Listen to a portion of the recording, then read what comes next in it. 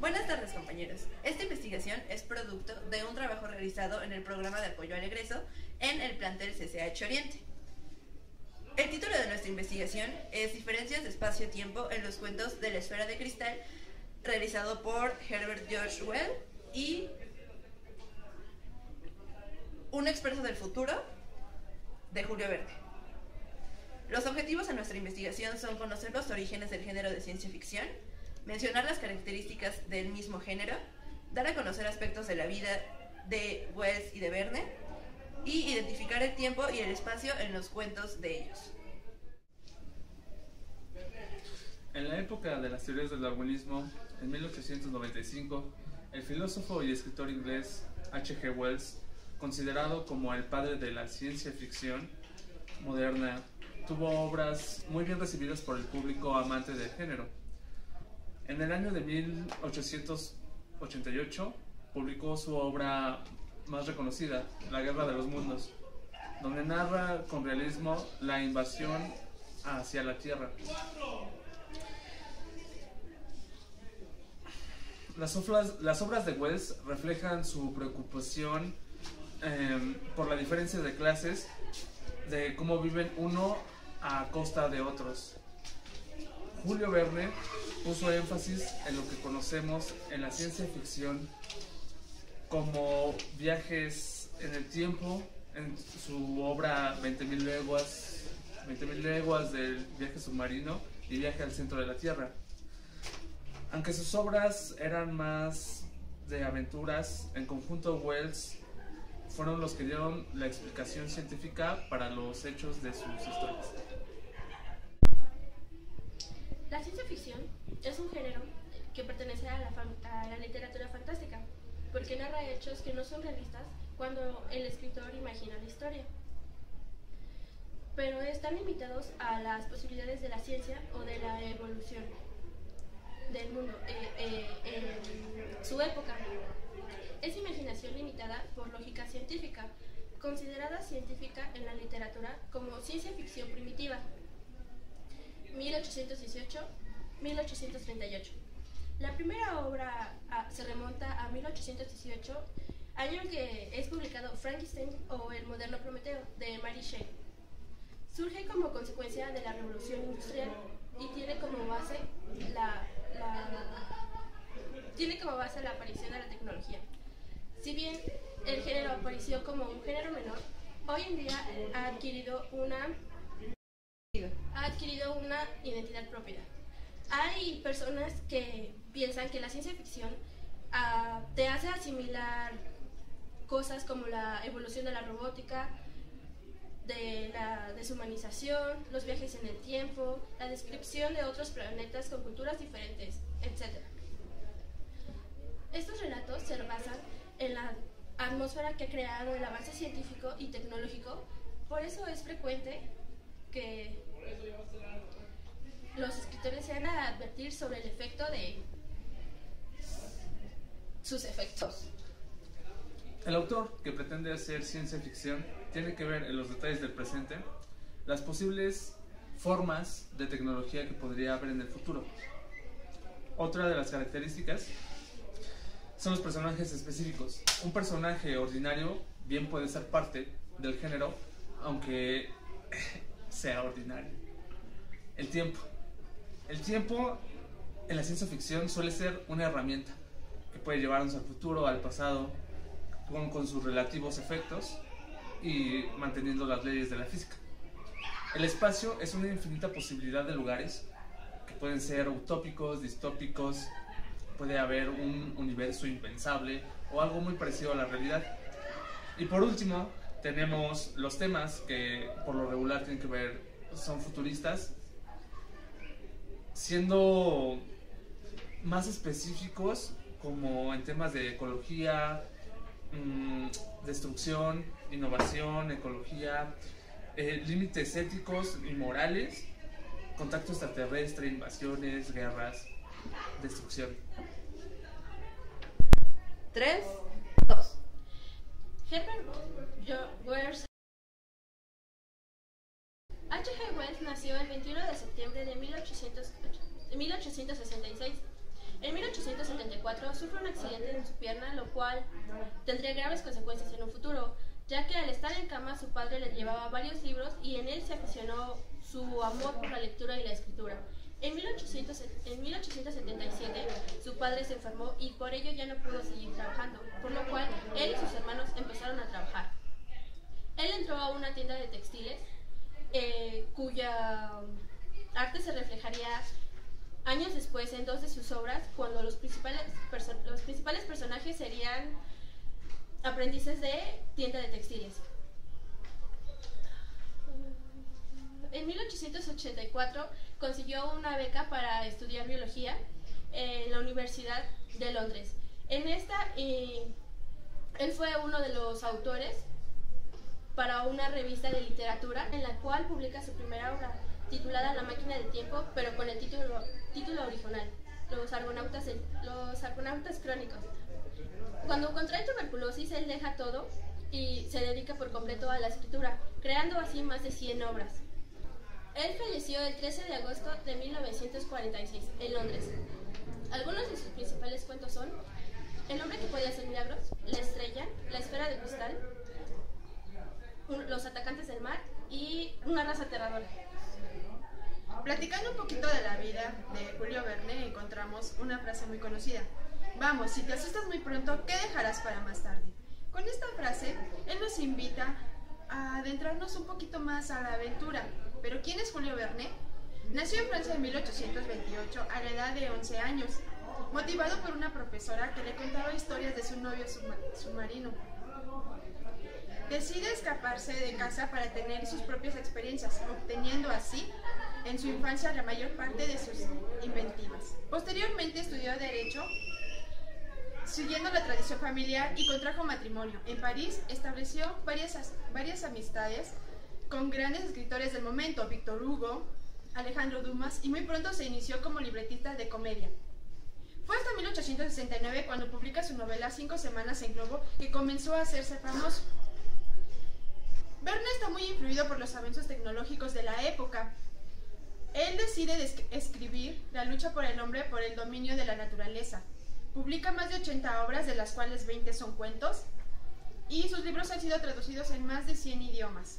Fallece a la edad de 77 años el 24 de marzo de, 1800, de 1905 por causa de diabetes. Mucho y Julio Verne deja mucho de qué hablar.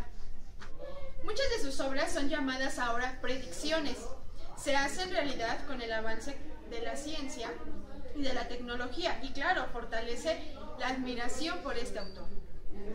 Es increíble cómo él pudo incluso dar detalles y precisión a varios proyectos como por fin la llegada del hombre a la luna. Entre sus obras principales de sus cuentos están Una ciudad ideal, escrita en 1871, Freak Black 1884, Un drama en México en 1876, La familia ratón en 1891, Un expreso del futuro en 1895 y en el siglo XIX La jornada de un periodista americano en 2889.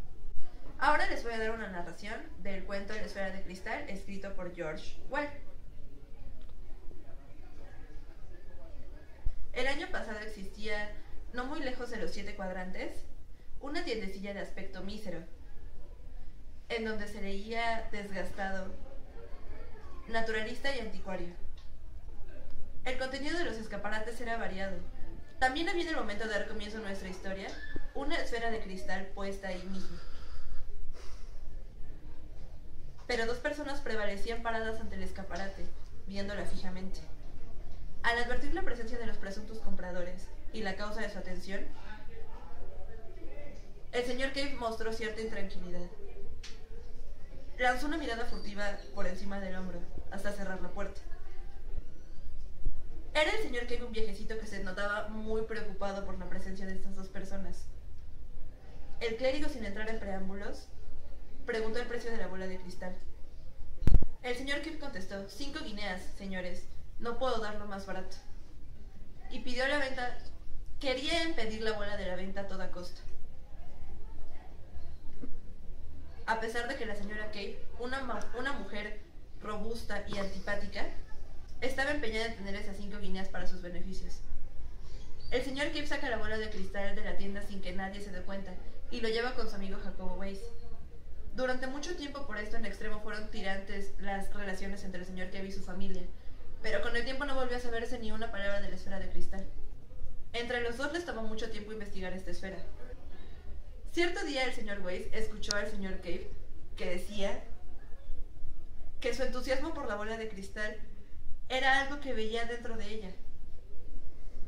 La bola de cristal había sido comprada por él, junto con otros varios objetos, en una subasta sin mayor importancia, al fallecimiento de un anticuario vecino. A él solo le costó 10 chelines. La bola de cristal emanaba una luz propia. Era sorprendente. Cabe aclarar que para lo que el señor Kev constituyó una visión completa, para Weiss no pasaba a ser de una sencilla fosforescencia. El señor Kev siempre hablaba de inmensas llanuras, flanqueadas a oriente y a oriente por rocas.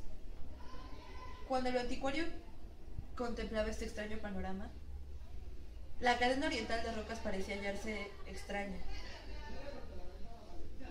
Y revoloteando por encima de aquellas montañas, unas aves se acercaban a veces a la superficie del cristal y otras, y otras veces huían de él. También veía edificios enormes, con ventanas de igual tamaño, en la que a veces entraban personitas volando, sin la mayor preocupación. En las terrazas de estos edificios había esferas, esferas que se parecían a la misma esfera que el señor Cave tenía entre sus manos, como si estuviéramos conectados por algo. Las condiciones físicas de lo que el señor Cave veía cumplían con las características de Marte, aunque él no lo supiera en ese momento. Tiempo después, el anticuario decide llevar a su casa la esfera para examinarla en cualquier momento, ya que piensa que su esposa ya no se acuerda de la esfera. Pero pasa algo. Repentinamente el señor Cave muere, así que su tienda de curiosidades, su tienda de curiosidades se cierra. Y su esposa, sin la mayor preocupación, pone todas sus cosas a la venta se las vende a un anticuario vecino. Entre ellos, entre esas cosas, la esfera de cristal. Weiss investiga. Hace muchos días que no veía al señor Cave y su esposa le da la noticia. Él intenta recuperar la bola, pero ya no puede. Ha sido vendida. Ha sido vendida a un comprador misterioso. Nunca le dieron importancia. Finalmente nos explican que Jacobo Weiss da toda esta historia y la publica con la esperanza de que alguien encuentre esta bola de cristal que alguien descubra este mundo fantástico, que en manos equivocas podría ser muy peligrosa, pero en otras tantas podría significar el descubrimiento de Marte. Diferencias de espacio-tiempo en los cuentos La esfera de cristal y Un viaje hacia el futuro. Espacio-tiempo utilizado en la esfera de cristal. El tiempo. La historia tiene un orden cronológico.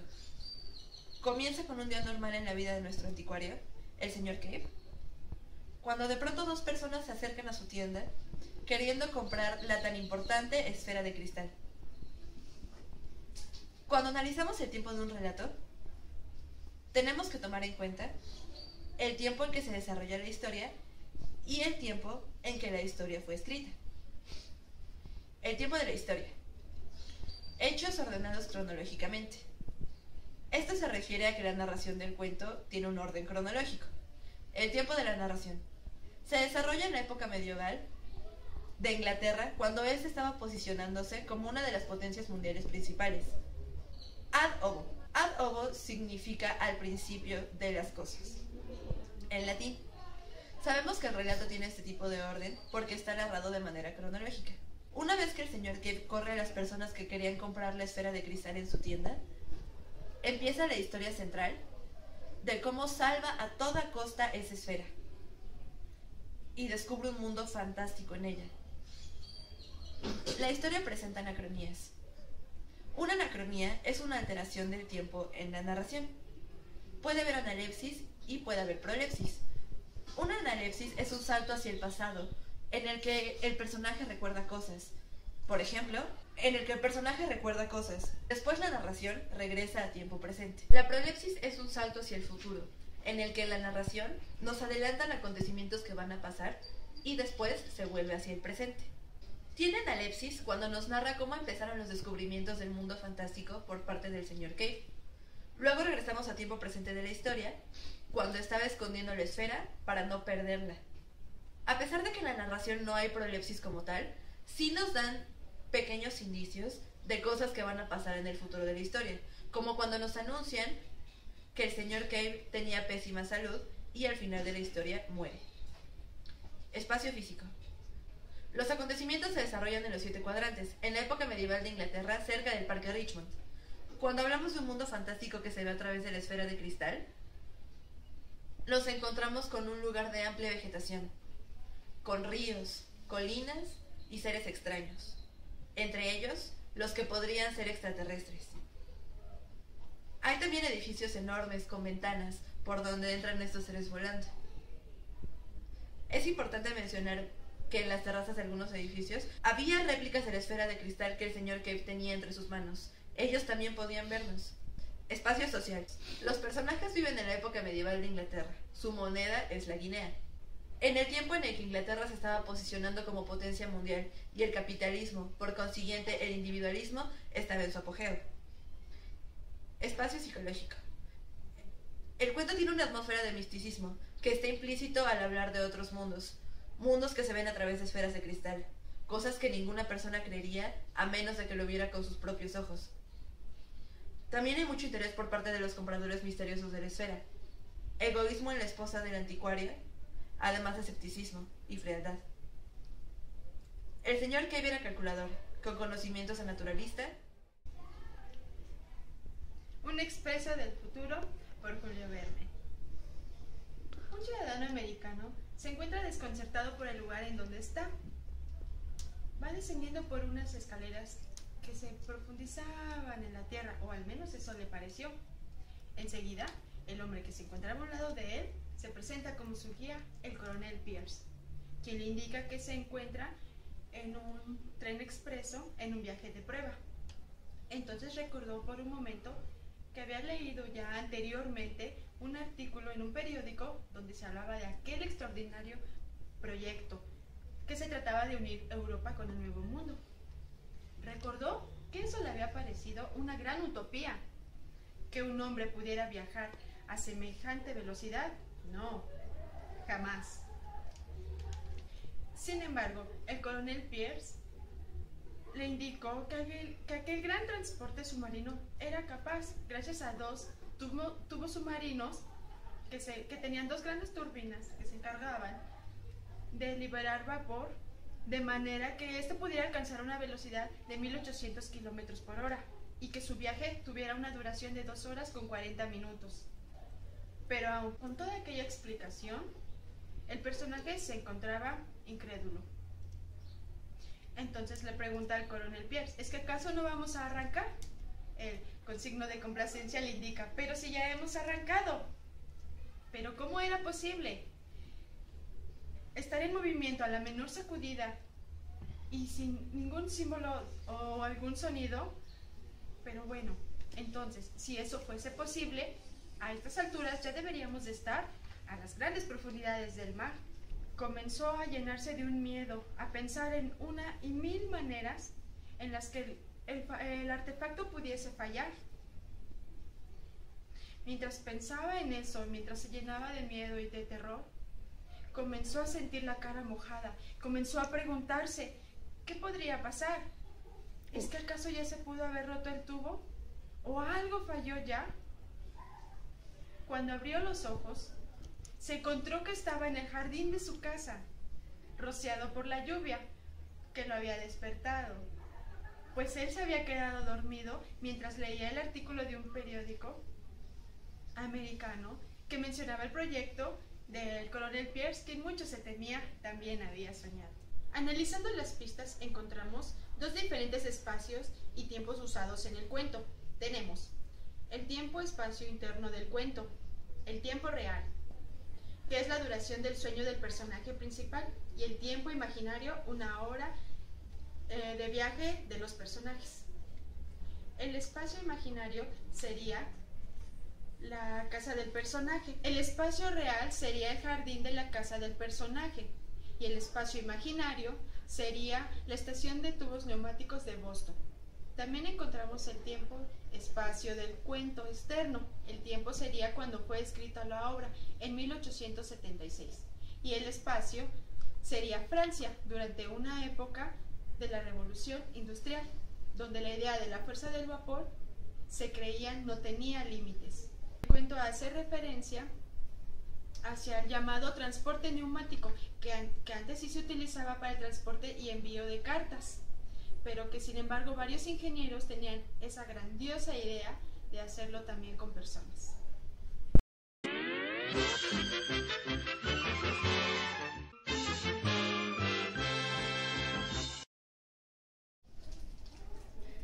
La ciencia ficción es un género que pertenece a la fa- ah.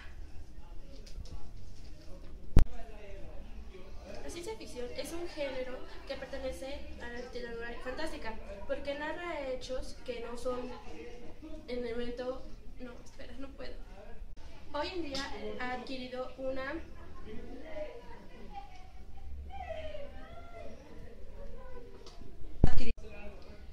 los escritores se han de repetir y no manches, no. Un ser, ex- un ser ordinario puede ser parte del género, pero hay algunas características esenciales que necesita para... 3, 2. No, Ok, déjalo. reserva. No importa, lo voy a editar. Respira. Es que se me fue la palabra. En una revista en la Eh, Verne eh, está muy influido por los avances tecnológicos y Oh. por eso decide Repite, escribir- desde avances tecnológicos. Ahora yo les daré una narración del cuento La esfera de cristal, escrito por Herbert George Well. El año pasado existía, no lejos de los siete cuadrantes, una tiendecilla en la que se leía... Ahora les voy a dar Sam. Te estás muriendo.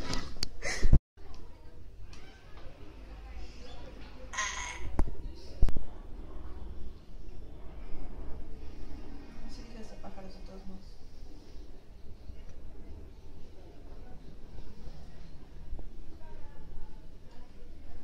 En las proximidades de las rocas se extendió una hilera de, edifi- de- En las proximidades de las rocas una hilera de edificaciones.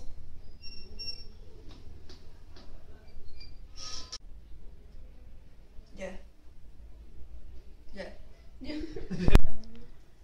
¿Qué andan haciendo? A ver, voy a decirte que voy. Ah, se están escondiendo algo. ¿Qué haces, Sam? Te estoy grabando.